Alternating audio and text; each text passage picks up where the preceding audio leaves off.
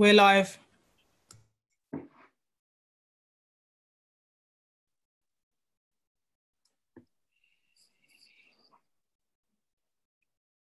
Okay, I see people are joining. I'm just going to wait a few more seconds. Hello, everybody. Hello, welcome, welcome. Just going to wait a few more seconds, everybody, to make sure there's no one who's meant to be here who's a bit late.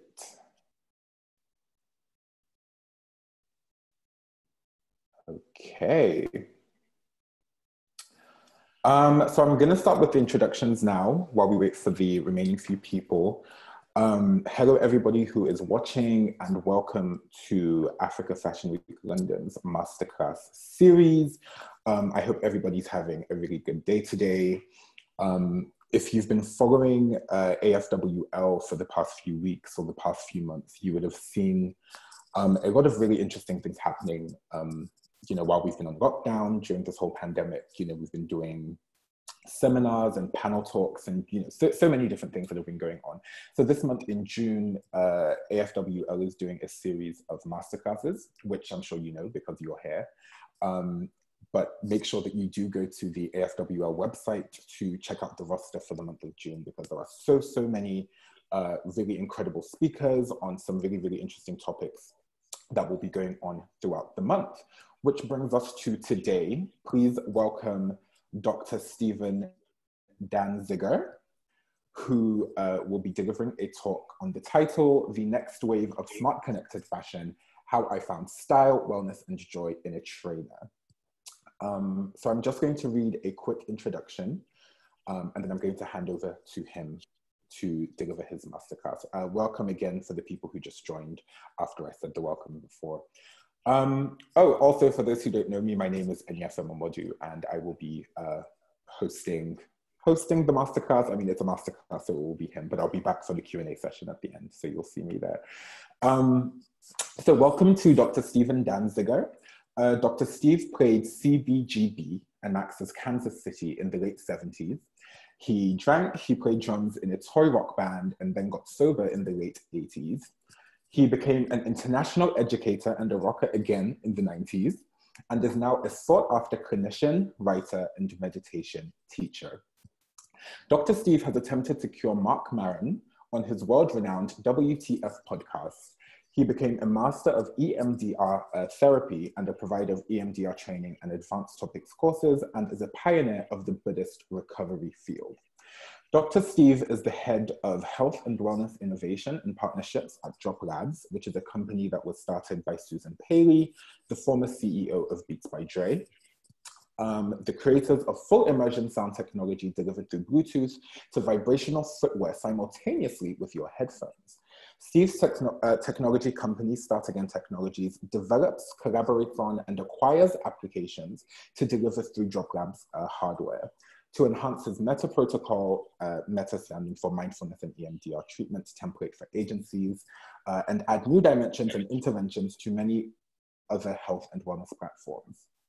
Steve is also currently part of the third cohort of the Master of Healthcare Innovation, the MHCI program at the University of Pennsylvania, uh, studying and collaborating with fellow cohort members and faculty who include doctors, nurses, academics, researchers, uh, and administrators to continue his quest for finding innovative solutions in mental health care and wellness.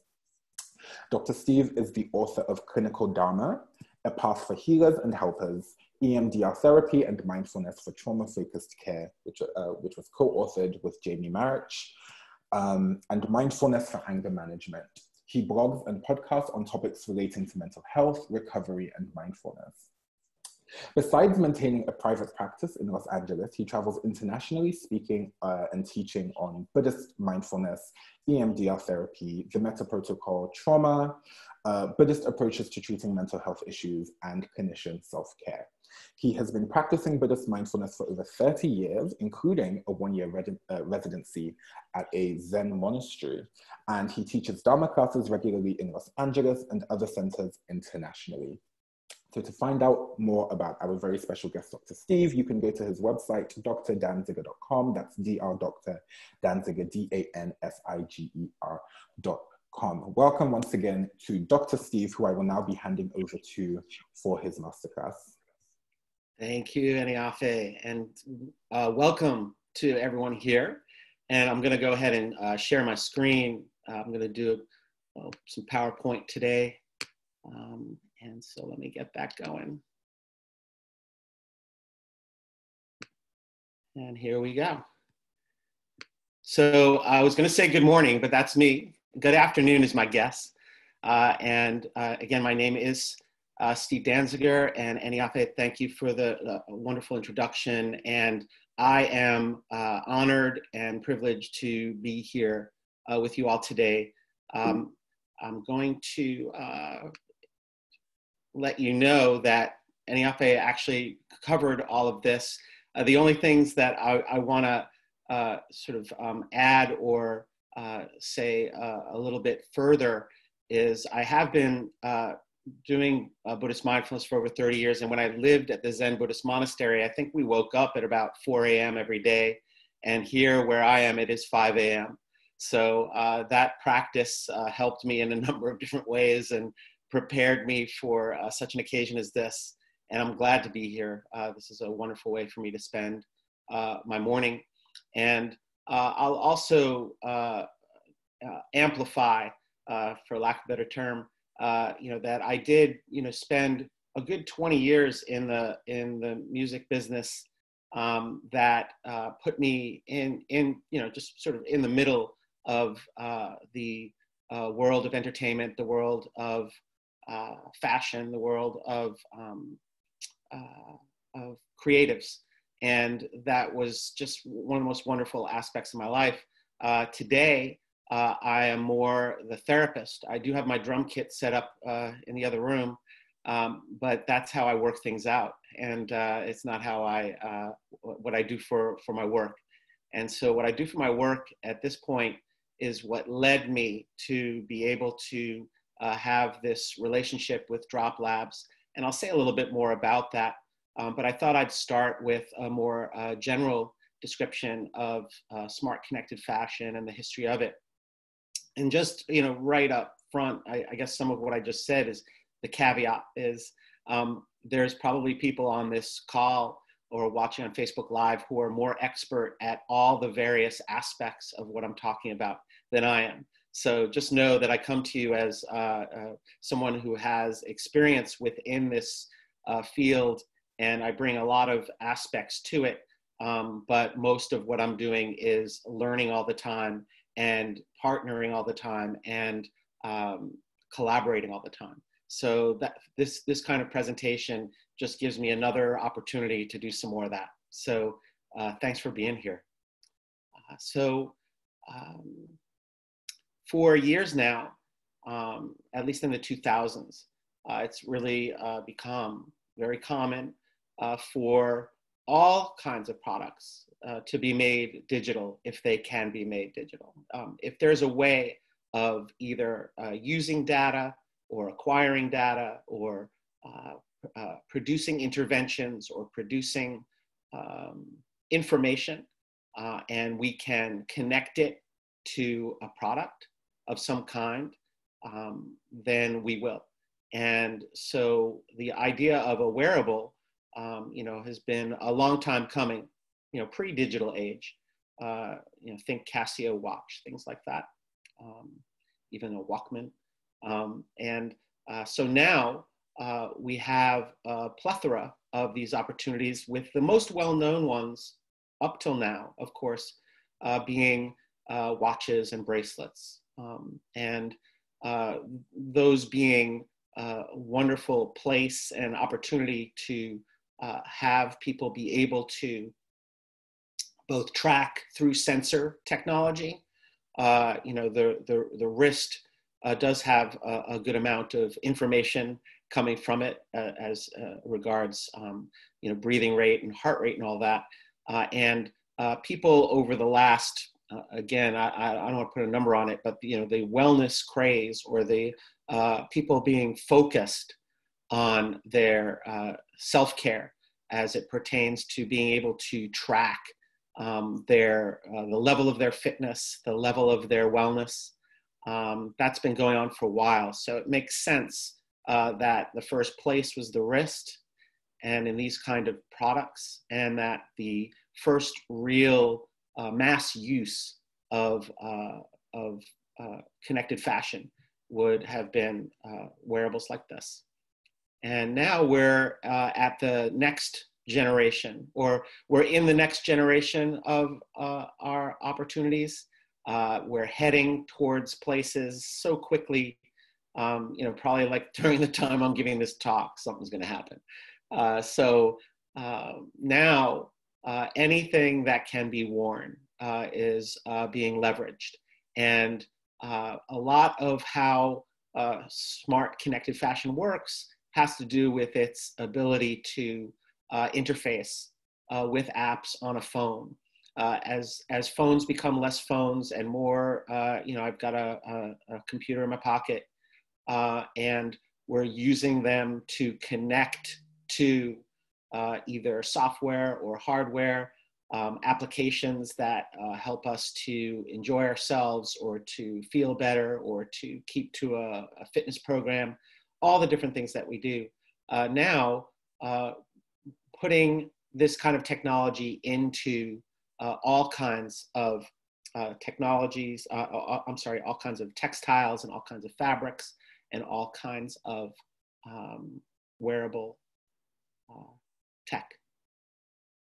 And so you can look at the history of how it's progressing to the point where uh, in the first generation of uh, wearable um, wearable technology, uh, you see just a, a, sensor taking a sensor and attaching it, uh, similar to uh, the way that the sensor is either part of or attached to the the uh, bracelet or the watch, or it, it sits within it. Um, you're now seeing, or you you have been seeing, Adidas, Nike, Under Armour you know, basically just putting a sensor, attaching it to their apparel. And then the second generation products are where the sensor is embedded in the garment somehow. Um, and so the product is made, the, the fashion is made so that the sensor can be, uh, can be uh, embedded right within the product. And now, and it, it's happening, um, the third generation it's where the garment itself is the sensor. And uh, the sensor technology is throughout the garment. The garment is made of the sensor.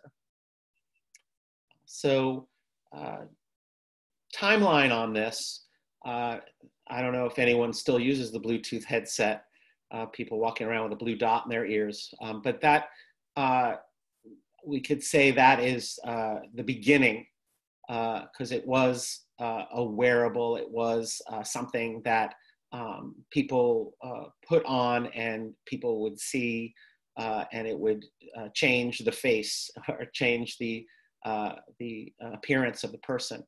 Um, and then 2006, Nike and with Apple put together a fitness tracking kit. I'll, I'll talk a little bit about that um, going forward.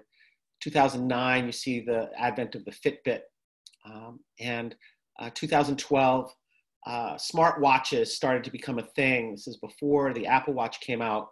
Um, a company called Pebble, uh, they were one of the early darlings of Kickstarter, uh, and uh, it didn't it didn't go well in the end. Um, and, but um, that was the first uh, sort of mass distribution of of a watch that had had capabilities beyond uh, the Casio watch or, or anything that wasn't digital. Google, Google uh, has been developing Google Glass uh, since around 2013 or 2013 was when it uh, uh, came, to, came to market. Um, and that's where your, your high-powered computer is, is with your um, glasses. And um, uh, Tommy Hilfiger has uh, had a solar powered jacket and then uh, a number of other uh, fitness and activity trackers came out around 14. And then 2015 was a big deal uh, for, it actually was a big deal in my life because I was actually working on a smaller wearable project. And when the Apple Watch came out, um, at that time, when the Apple Watch came out, Fitbit lost like 70% of its value. They survived it, obviously. Um, the company that I was working with, uh, we didn't uh, come to market. We had our wearable all put together, and it was going to be about health and wellness. Um, uh, and so the Apple Watch really changed the game or sped up the, the race towards uh, wearable tech. And uh, Ralph Lauren had their uh, Polo Tech shirt come out, and and then uh, Google has their Project Jacquard, which uh, I'm going to talk about in, in a little bit. So, um, as an example, Ralph Lauren's Polo Tech shirt uh, works with your iPhone or the Apple Watch to put workout data right in the palm of your hand, and you can see uh, down in the torso, uh, a detachable black box that streams the stats directly to your iPhone or iPod Touch. And so uh, the shirt uh, fits snugly, uh, which helps the uh, sensor to fit snugly and be able to catch accurate data. And so then, as with many of these wearable um, wearable devices and wearable uh, fashion, uh, you um, have a dedicated app that um, helps to make sense of the data or creates a program out of the data um, that can be customized for the person who's uh, wearing it. And um, that's a big part of the, um, uh, the um, uh, what is good and helpful about uh, this kind of technology and this kind of fashion is how it uh, allows us to customize uh, to make it uh, very personal.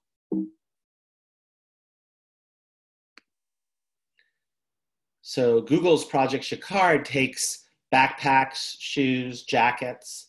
Uh, you know, so Drop Labs, uh, our company did not start the idea of footwear being involved in, uh, in this movement. Um, but uh, so putting uh, new digital abilities and experiences in uh, these products uh, while they're still, you know, a backpack or, or a sneaker or a trainer. Um, and so uh, Adidas GMR, where, and that's, your, that's football as in soccer, as we call it here in, in the States. Um, uh, so those uh, sneakers are designed to help uh, soccer players get a more definitive idea of, of how they are doing, what they are doing in their training. Uh, Levi's trucker jacket, where you can answer calls, play music, you know, basically uh, you know, either through a touch or, or you know, number of taps, uh, being able to set up your jacket or, you know, backpack to understand the things that you want to do most often and setting up your own personal menu of uh, what your uh, wearable is going to do um, to assist you in life. Um, and so, uh, City Backpack by Saint Laurent, and uh, that allows you to control music, drop pins on the go, take pictures, and do more with a, a simple gesture. So, uh, as the technology gets smaller, and as the technology, the, com- the smaller computer gets more powerful, and more interactive, uh, the opportunities and the possibilities grow. Uh, Nike Adapt uh, is was is a platform um, that uh, through uh, helps you with the uh, your lacing of your of your shoes and making it so that you are able to adjust um, your Nikes uh, and also um, adjust the technology aspect. And uh, so uh, the app, um, and this is, uh, you know, Drop Labs and other companies are all learning from each other. And that's actually a big part of this uh, presentation. And my hope is, is that uh, it's just part of a movement and, and a help towards um, all of us um, being able to help each other to create more wonderful products that uh, help more people, bring more joy, uh, bring more wellness. Um, but uh, they have uh, one for activity and one for relaxing. Uh, and um, when I when I say one for activity, one for relaxing, again, more and more the technology is getting to the place where it can be yet still more nuanced than that. So because uh, the way that I um, became familiar with this world comes from the fact that I've uh, landed in the world of drop labs. Um, first, I'd just say a few words about um, how I uh, landed here. Um, because some of you or many of you might have similar stories, you know, where you follow the bouncing ball. You know, I've, I've followed the bouncing ball in a lot of different ways, and actually it's all coming to a head uh, in a lot of ways right now. Just everything that I've done from when I uh, first encountered uh, the Zen monastery uh, 30 years ago. Um, and then I became a, a, high school English teacher.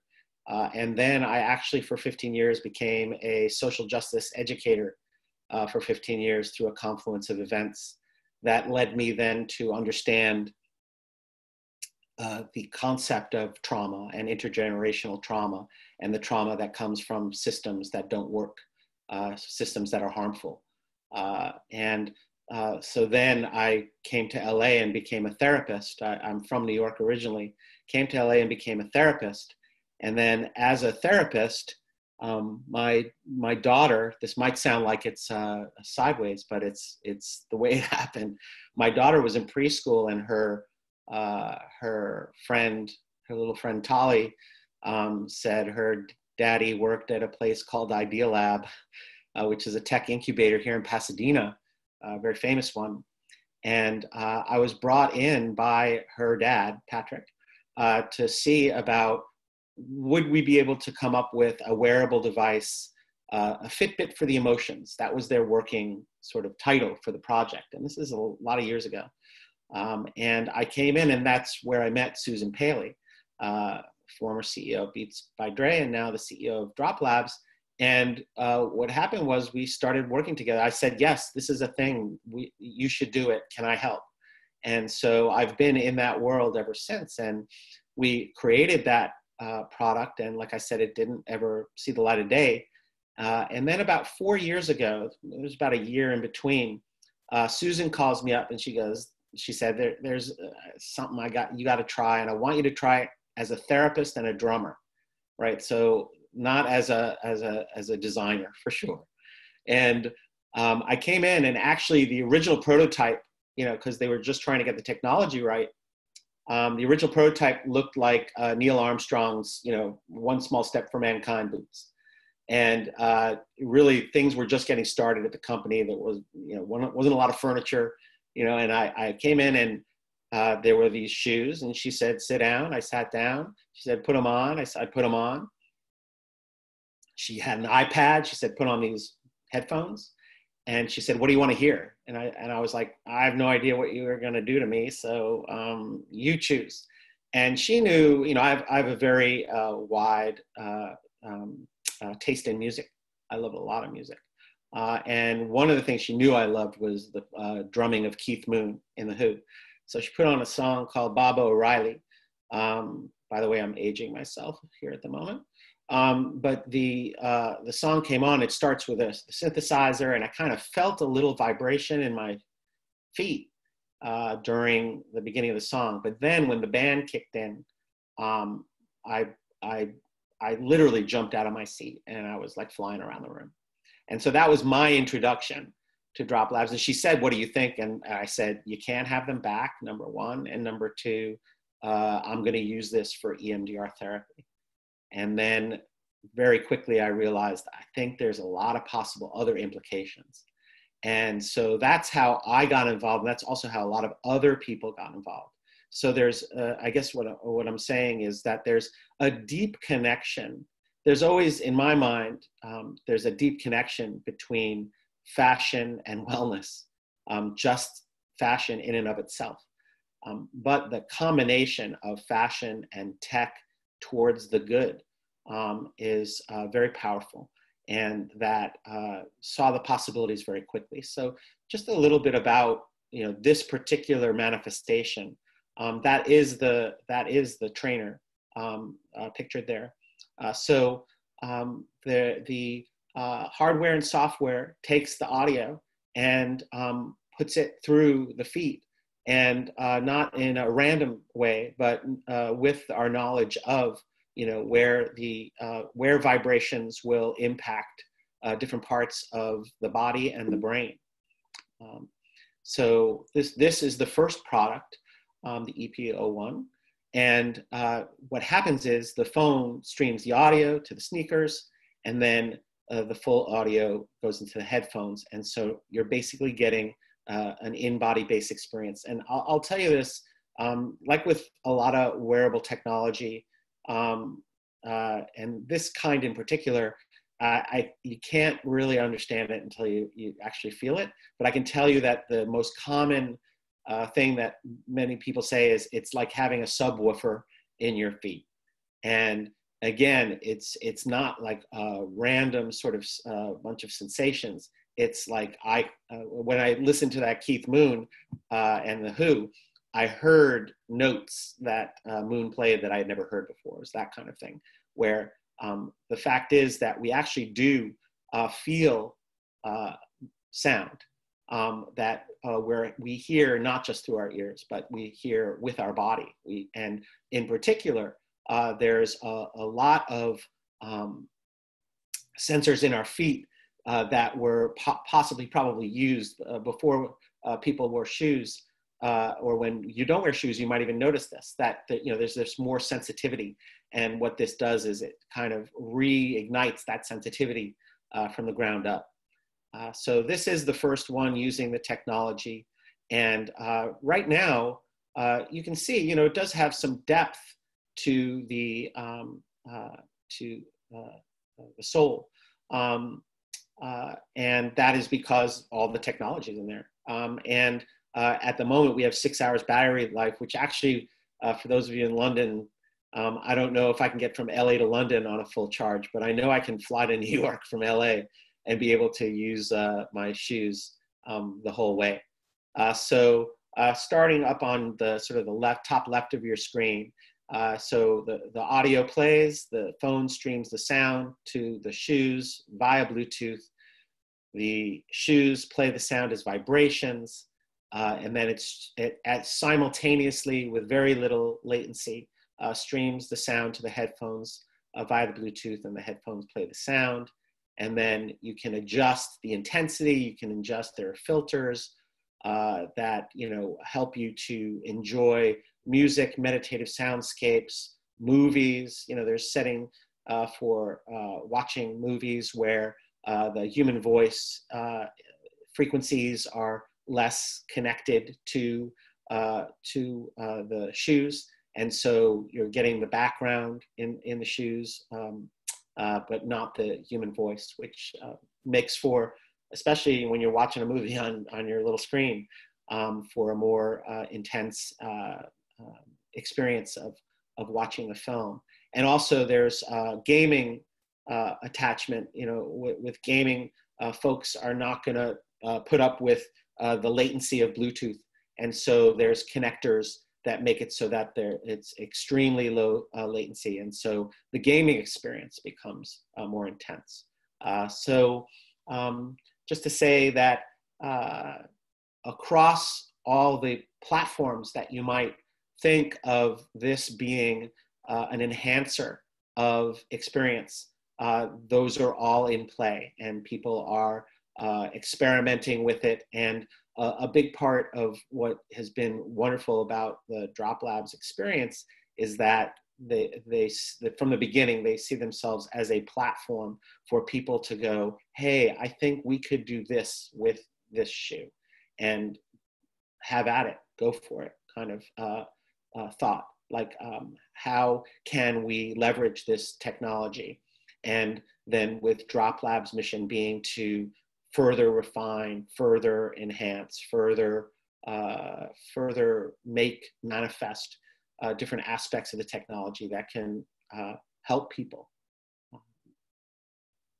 so uh, one of the uh, I, I, can't I, I have to say I can't remember where I sourced this article. It's a very recent article where they're like enough with the ugly watch bands apple it was someone who had a, a, a, you know was not happy with the latest generation of of um, apple watch bands and and the fact is there's my friend casio there in the middle. Um, the fact is um, it you know we now have the technology is as you can see even with the ones like the jacquard and, and others where there's a sensor that's like this big that can be embedded in the shirt. Um, it can be embedded in the shirt, let's say, in a way where it's unobtrusive uh, and or uh, it can be highlighted if you want to highlight the fact that your shirt can track your fitness uh, or, or provide some kind of interventions that uh, help you with your meditation or any of those kind of things. And so uh, I think, you know, with the, with the way that we now can make digital uh, so small or make it so part of the fabric, there's no reason why uh, fashion cannot uh, take a front seat in the smart connected fashion world. And so, you know, I'm showing you the, the, the trainer and uh, you might have a variety of feelings and thoughts about um, how it looks. Uh, but um, I, I, will tell you that um, a number of um, uh, folks in the footwear, veterans in the footwear uh, industry, had a hand in uh, advising on this and even designing uh, because, and, and again, this is uh, where I came in, how I came in, and how a lot of people came into this project is oh my goodness, this might help people. How can I be involved? Right? So there's the entertainment aspect, there's the fashion aspect, and then there's there's the aspect of uh, how can we use technology to help. Um, so you can see that the you know the um, the fashion uh, looks not that much unlike you know a lot of uh, the, uh, many trainers on the market, and um, and has the extra uh, bulk, although it's not uh, super heavy. I can tell you that from from wearing them a bunch. You know, I was a beta tester for a long time, and and I use them in in my day to day life. So um, so, and there, there it's deconstructed for you. Um, so you can see uh, where the technology rests. It's all there in, in the midsole. And um, that allows for the rest of the trainer to be dedicated to being a trainer. So just as an example, the kind of the first and most uh, long standing example of uh, how uh, smart connected fashion can uh, develop over time is there was a realization uh, that um, folks in the hard of hearing community and the deaf community uh, do their majority of their obviously they do their hearing through their body and um, antoine hunter who is a wonderful choreographer deaf choreographer and dancer uh, from the Bay Area here uh, in the States, San Francisco area. Um, he uh, talked about having like speakers all over his studio, all over his apartment in order to listen to music. And, uh, you know, uh, talked about the struggles uh, or the difficulties in um, being able to lead his dance company and, the, you know, the um, the, the technology that is needed in order to, for instance, uh, when they do a performance, uh, his company, uh, there'll be speaker technology built into the stage. Uh, and that's how the dancers work. And so he put them on and he was, he was oh my goodness. And uh, so he has been from the beginning uh, at the forefront of helping to even, to fine tune even further how and where and what uh, the vibrations uh, are about. And um, he, he's said a number of things about what this has done for him. First of all, just a, a whole ton of joy and deeper ability to uh, hear music. Um, but what he uh, uh, talked about too, for instance, was how uh, when he was leading his dance company before he had the shoes, he would have a hard time finding his place in a song if he stopped a song in the middle. Um, and now with the shoes, it's so much more directed that he can stop and start and be able to pick it up. Um, but also just the uh, what what I've been able to to witness uh, with people who are deaf or are hard of hearing when they put on the shoe. Uh, some folks, um, uh, many generations of um, hearing impaired, uh, so music uh, appreciation what was not necessarily at the center of their family life, and they put these on, and it changed changed the game. So uh, I already uh, talked about, in a sense, some of uh, what the challenges are in um, making decisions about smart connected fashion, developing it. And these are some of the sort of the touch points that Drop Labs came across uh, from the beginning. First of all, it's integrating the fashion with the technology in a way uh, that is both uh, functional and fashionable.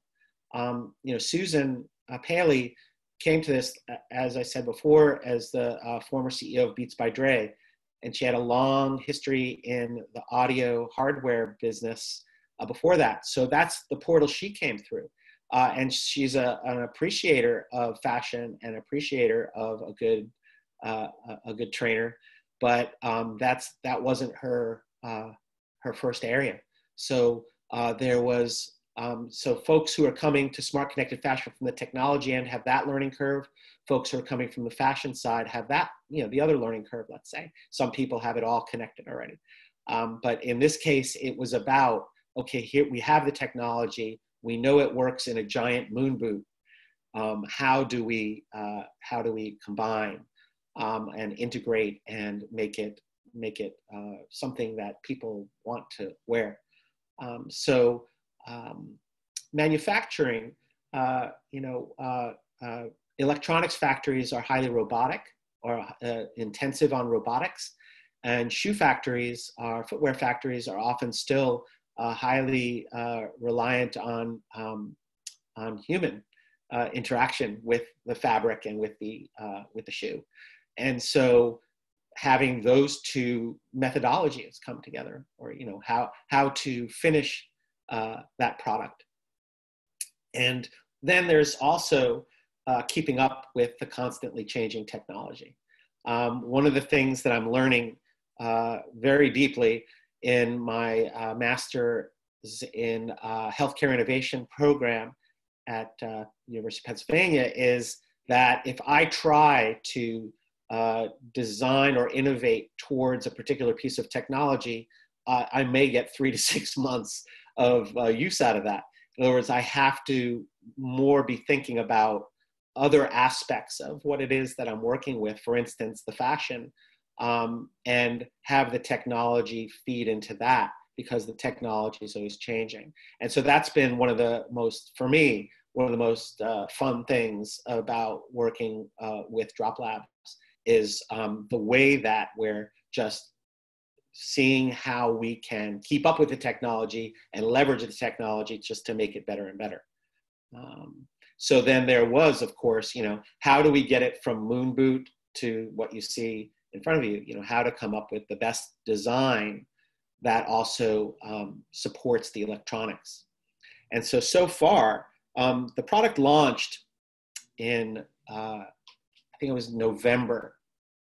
Uh, and uh, so, um, so there was some, we had some experience of um, putting it out there uh, before the pandemic. Um, and so uh, we're about to, or Drop Labs is about to relaunch in a sense, or restock. Um, our, you know, next wave of product is coming in in the next couple of weeks. Actually, it's very exciting to be here with you uh, on the cusp of that. Um, so uh, so far very low returns, um, and which is you know for a piece of electronics, piece of fashion, you know either one.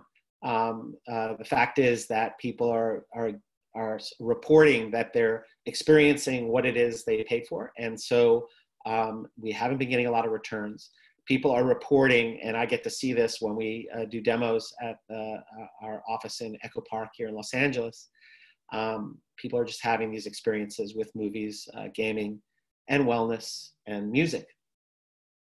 And a lot of that had to do with um, Susan and their team really just not leaving any stone unturned uh, when it came to design and uh, just the, the, whole package.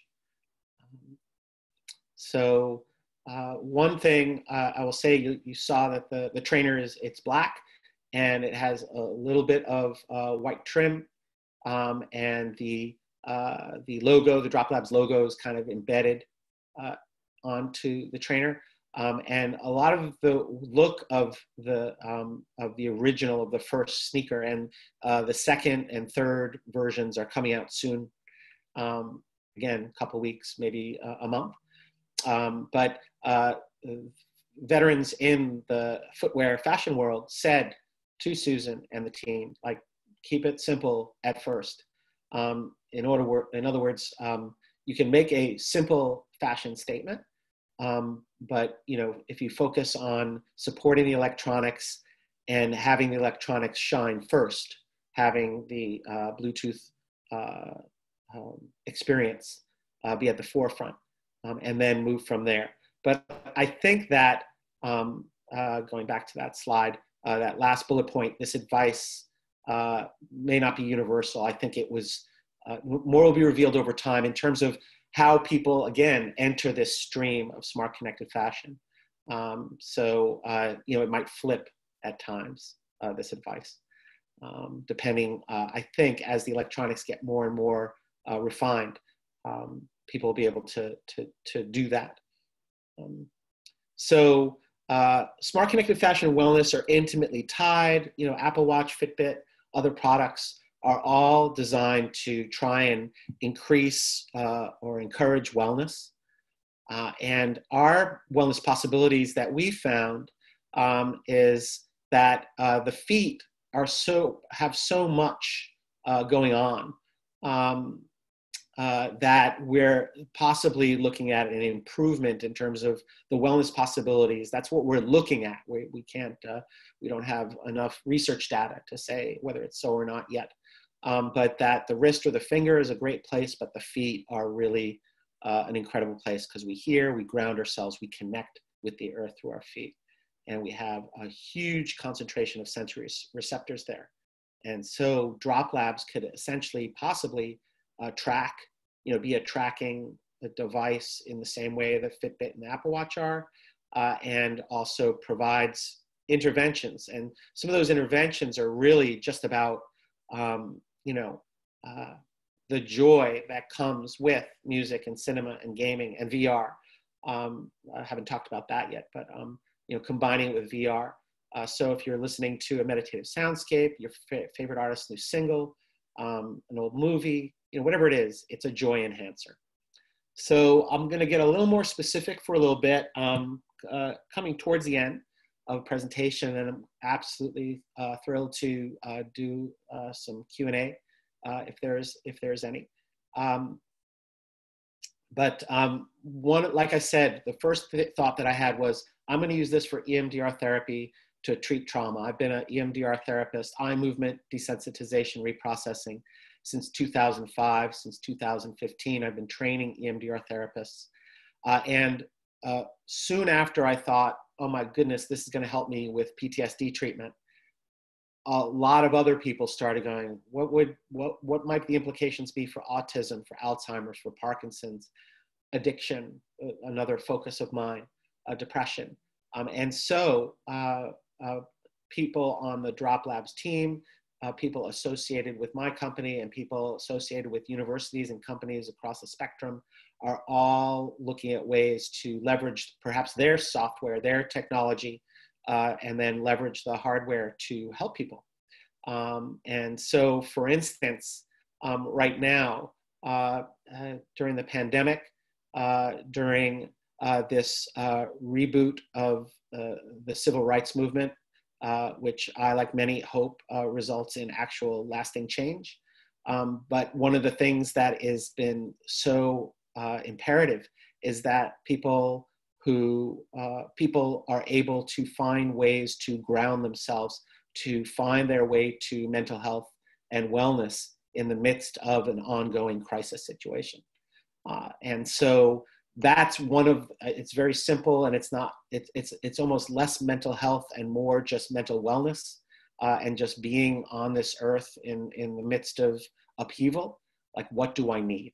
And sometimes I just need my music, right? And if I can have a more in-depth uh, version of that, uh, that is good for my mental health. So that that's at the baseline. Um, and so we can curate our own experience through uh, through this kind of wearable tech.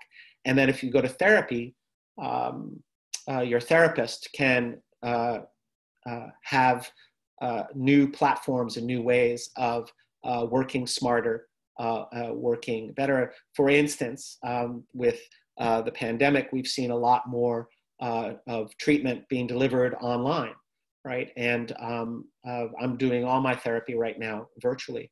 And so if the um, client has uh, technology like this on their feet or any other kind of technology like this that uh, further enhances their sort of connection, right? Their body connection to the experience. It can, and, and ha- perhaps having it connected to uh, the sound of their therapist's voice or uh, an intervention that the therapist is delivering uh, remotely. Um, so there's all kinds of implications that, again, are in progress, in process. Uh, one of the things uh, that's, uh, you know, I don't look at it like silver lining. I just look at it as what happens when you have something uh, like COVID-19 is you end up with a lot of innovation and a lot of change.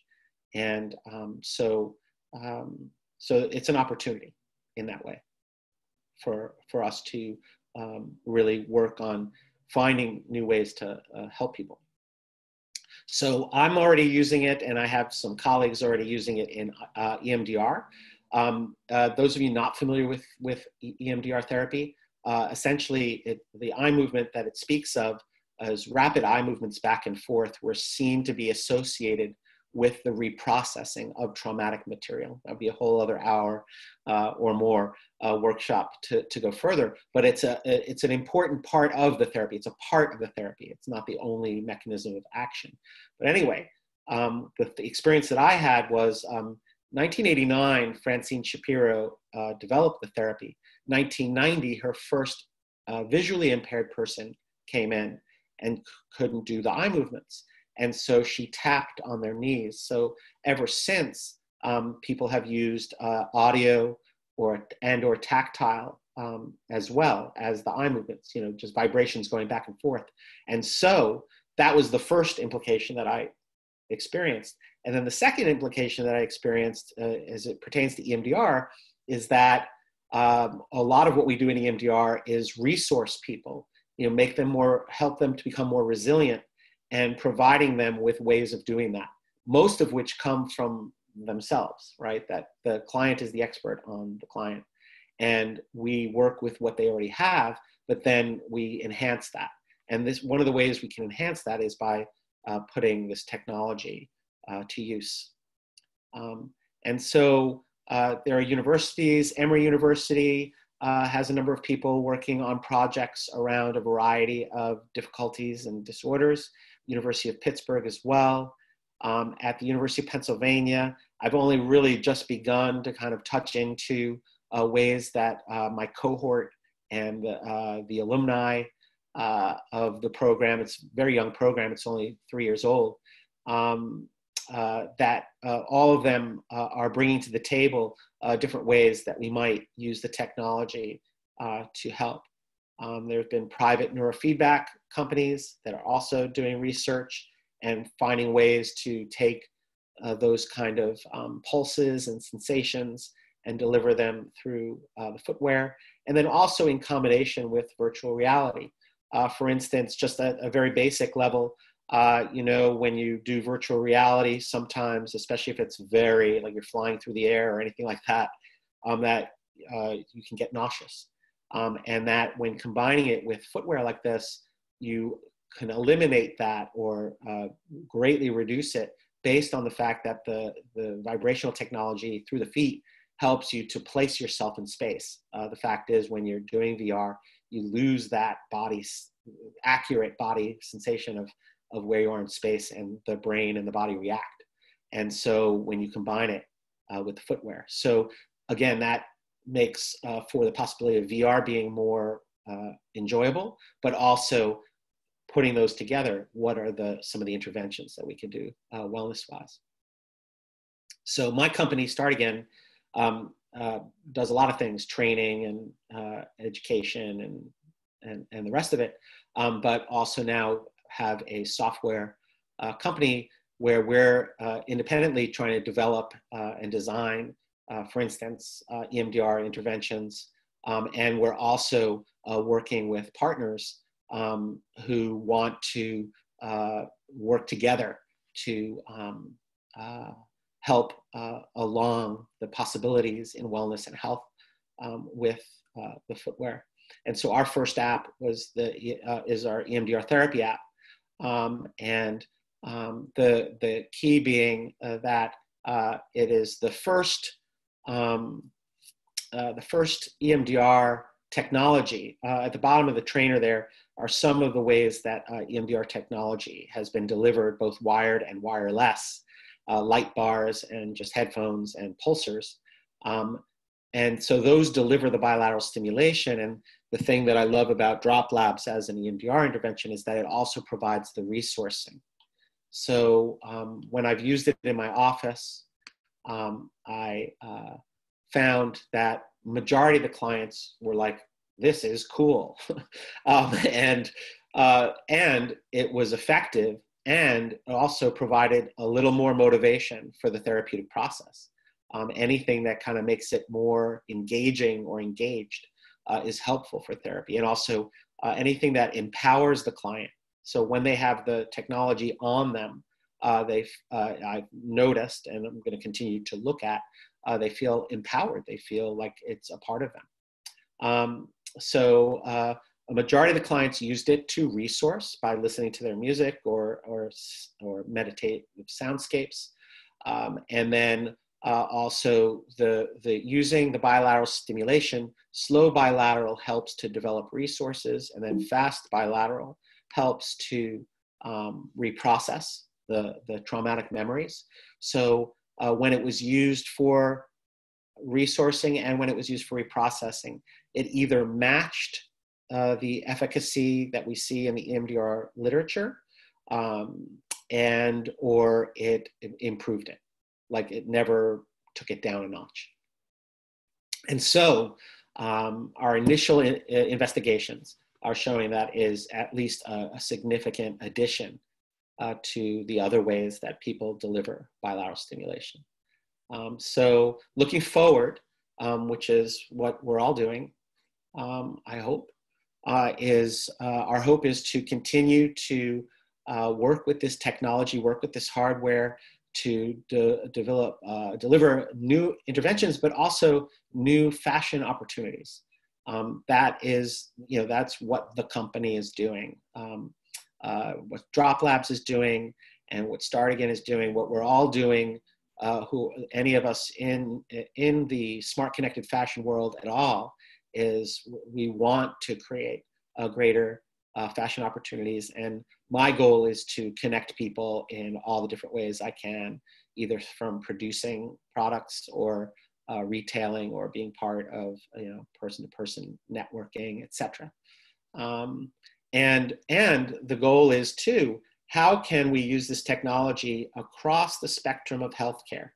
And I, I mean mental health and physical health um, meaning that how can it help the person who doesn't need any kind of treatment, you know, just looking for more wellness, all the way through the person who needs acute care, you know, uh, like someone who needs to detox from opiates. How can it help them? And then how can it help that person as they go through their treatment um, and how, uh, and as they go uh, forward into their fabulous life uh, of, uh, of uh, wellness uh, over the long haul. So uh, the goal is to, to help people to enter the stream of smart connected fashion, meeting people where they are and having a portal that people can enter at any place to find uh, the benefits of this. So I just actually surprised myself with my final slide. Um, uh, I really uh, appreciate um, your uh, attending today. I hope uh, that um, whether you're Zoom, Facebook Live, watching this on a replay, Um, I hope it was helpful in some way uh, in understanding uh, this world of smart connected fashion. And uh, I look forward to um, meeting some of you along the way, collaborating, I hope. Um, and there is my information. And that last wish there are, uh, um, I didn't talk so much about, uh, if at all, about uh, Buddhist psychology, but um, uh, that is at the center of how I work. And those are four phrases from a loving kindness meditation. Um, so may you be free from fear, may you be healed or healthy, may you be happy, and may you be at ease. Um, so uh, I will uh, unshare my screen, I suppose, and um, see if we have some questions. Um, okay, can you see me? Can you hear me? Yes. Hi, Aniafe. Fantastic. Hello again, Steve. So that was a really, really uh, interesting and really stimulating talk. Uh, I made so many notes. There was honestly so many different things that I was just like, "What? This is real! Like, like people are actually doing these things. It's absolutely incredible." Um, so thank you so much for delivering such an incredible and insightful and informative talk. I'm sure everybody who was watching uh, will really appreciate and you know, will really have something to take away from that. Um, so I actually, there are quite a few questions here for you actually. So I don't know if you'll want to keep your answers just a little concise so we can get through as many as possible. But um, the overall theme seems to be uh, a lot of intrigue and a lot of interest um, from the people who are watching. So um, there are some commendations actually that have been left for you and people just saying how much they're enjoying the talk. So, um, so I'll get straight into the first question, comment slash question from Nicholas who asked, um, he said, I have to say this is really interesting. Um, what I'm wondering is what is happening with the data collected from uh, from, in, and on these wearables. It seems as though personal privacy is being forsaken, perhaps, and uh, somebody somewhere is collecting a trove of information. Do you have any idea what they're doing with it? 100%. It's a great question. As a matter of fact, uh, one of the um, uh, courses, the most recent courses that I uh, was taking at Penn, um, had to do with uh, connected architectures and the fact that we live now in uh, a world where sometimes actually pay with data, right, for a product, right? That maybe they won't get charged any money. And what it is that the company is interested in is data. And so the whole uh, spectrum of privacy uh, issues is, is growing and growing and growing to the point where um, I mean, think about it, right? Um, what does Alexa know if you have Alexa? What does my watch know? What does all of it know? So, this is one of the primary issues of being a, a technology company requires uh, building a relationship of trust and transparency about the data, what the data is used for, and only using the data for the purposes of continuing to help uh, people and continuing to um, uh, um, uh, refine uh, what it is that we do with these products in order to um, help you. So the idea is, right, uh, a company would take the data and that would help them to customize the product or products for you uh, so that they would work better for you and that there'd be more opportunities to, um, to create wellness and then there is and there is the, the problem of or one of the biggest uh, areas of commerce right now is people selling data right? Yeah. so that's why there needs to be uh, this uh, it needs to be a very very transparent and direct to the consumer uh, conversation about your question nicholas. You know it needs to be a big part of it. So so um, depends on the company, right? I mean, there's the huge companies, Apple and Google and the rest of them, and Amazon. Uh, who knows what they're doing with my data? Is the feeling that Facebook. I have. Yes, mm-hmm. Facebook. Oy, oy, oy you know, hi Facebook, right? So, um, so there's there's all that, and then um, there's uh, how do we take that data, the bio, bio data and other data, that you provide, let's say through a text messaging back and forth with a company, uh, to provide them with more information about how you're feeling, what you need, you know, all of those. So, you know, smaller companies that are more wellness oriented like ours, that's what we're focused on, right? We want the data to so that we can help you. Um, and then we then it's on us too to protect that data, right? Which is means a whole other level of the business, right? Which is to protect your data. So, thank you for the question. It's really important. So I have a comment from Wada. She says, wow, I have learned so much today. I'm so honored to be here. Thank you to Dr. Danzig and everyone who made this masterclass possible. Thank you for that comment, Wada. Um, I have a question from Vukola who wants to know. Um, so she says, uh, some people think that smartwear uh, still remains bulky and it looks too technological uh, and not very fashionable. So how can we move past this and sort of improve this uh, this ugly perspective? Yes. So I, you know, again, my journey with uh, with smart connected fashion and with Drop Labs has been, you know, it's like, hi, I'm a therapist, I'm a drummer. I think we could do great things with this, and I love a good trainer, uh, but I wouldn't even know where to begin, right? And and Susan and others on the team you know, very similar.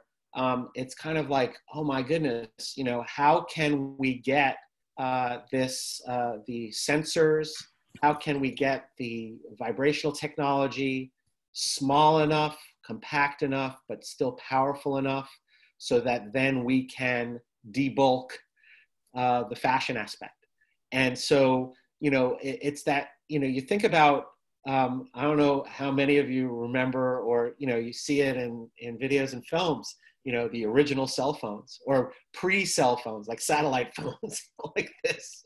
Um, so you know, as things get smaller and smaller, then the opportunities come more and more. I think on the wearable side and and enable us to to think uh, more fashionably in our choices and so that's been a lot of the drop labs journey. And, and then the other companies that are working on similar you know sort of projects and have you know adidas nike they all have uh, technology embedded in some of their trainers.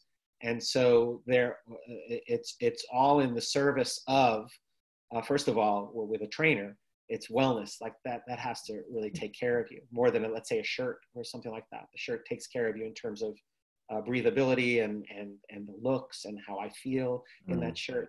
But the trainers, that's like a bio, biological need that it needs to be dealt with. So anyway, um, I think that the future is friendly around this, and I think I pointed out in one of the slides that I think you know, like at first, it's sort of like we had to build the fashion to the electronics, and we're getting more and more to the place where we can build the electronics to the fashion or that mm. the fashion thought that you might have we might be able to just have it become uh, uh, uh you know wearable tech mm. so it's going to be it's going to be an exciting next decade let's say okay so um, i have some questions here from jennifer um, I think I will just say, so towards the end, she did comment, uh, maybe my above questions aren't relevant anymore since uh, the product is still in the prototype stage, but it looks like a great product. But I'm gonna just ask the questions anyway, just thought I should you know, add that bit of context.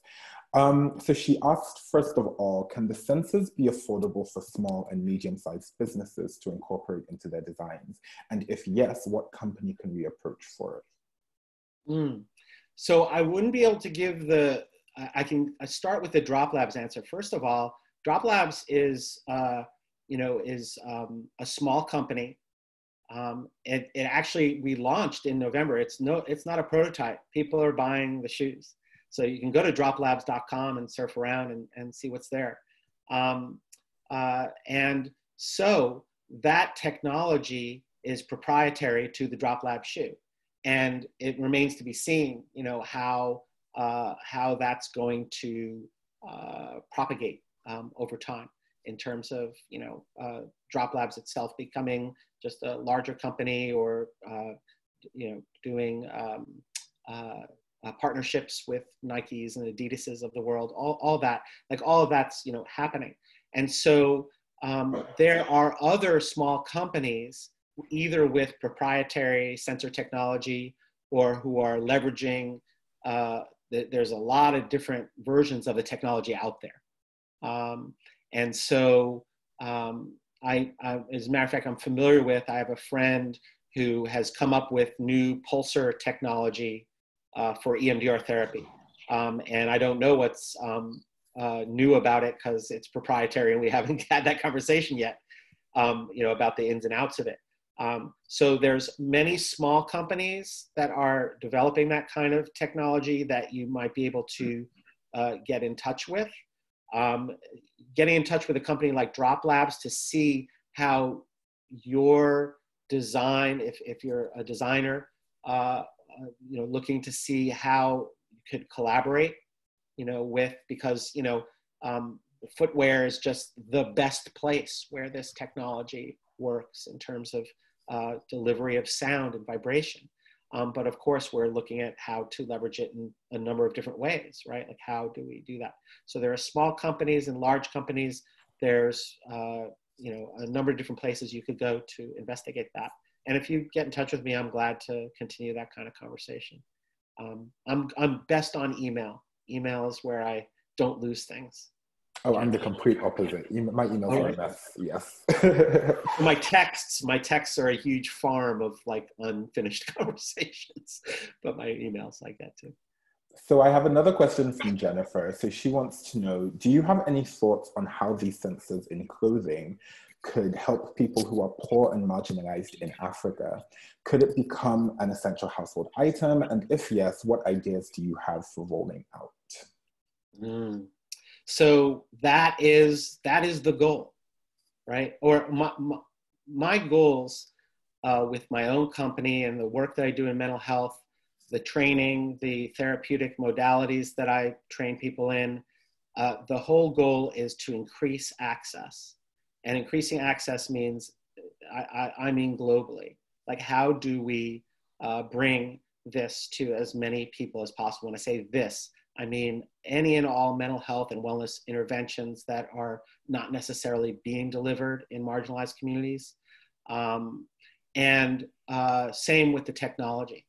And so the way that I see it, right, this is a first gen product. First gen products are always uh, bulkier. Uh, I, I, don't find the trainer super bulky, but it's bulkier than it's gonna be. Um, they're bulky and they're also more expensive because the you know the technology is new. But I don't know. Uh, my experience has been that second gen of just about everything, like the price cuts in half, etc. Yeah. And so for from where I'm so then the question about how to roll it out, um, I don't know the whole Drop Labs plan. I know the part of the plan that's related to the work that I'm doing, where they are working with me to uh, cut prices and be able to deliver in bulk um, to, uh, for instance, addiction rehab centers that uh, are not, uh, that are in communities far and wide, as opposed to just you know um, uh, luxury rehabs and things like that, right? And so you know, um, uh, little by little, but faster, as fast as possible, finding the business models that combine um, anything to do with uh, um, the for-profit side of the business um, also having a nonprofit uh, side of the business that helps in the uh, wider distribution of this. So I'm actually currently, I'm in meetings with folks who are hearing my plea for this to be on the front end of how we roll things out rather than the back end. Um, so it's all happening right now. So uh, my my feeling is, my thought is, again, you know, I'm I'm willing to consider that we didn't develop the best product, right? I think we've developed a wonderful product.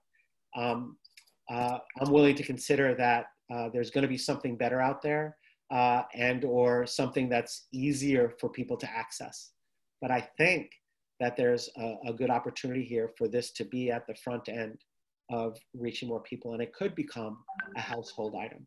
It's a matter of um, continuing to refine the product and also the business model and, and uh, how to um, make sure that it gets distributed and make sure that folks uh, have the access to the software as well right? I mean it's it's easier to deliver software as it were, but at the same time, in marginalized communities, you know, we talk, talk about all the other aspects, internet access and all the rest of it, in order to create um, the same opportunities in those communities that um, that others may have. So it's a it's a priority, and it's in process. Okay, so I think we're just going to take one more question. Um, so we have a question here from Anonymous, who is wondering about sustainability and waste and where the materials are sourced. Uh, she, uh, sorry, Anonymous says long-term thinking about waste for the planet as far as fair trade in manu manufacturing. Yeah, so um, the, the sustainability aspect is uh, as, um, let's put it this way, it's on the front end of the thinking. And at this point, technology and Bluetooth technology and digital technology is, is not super sustainable.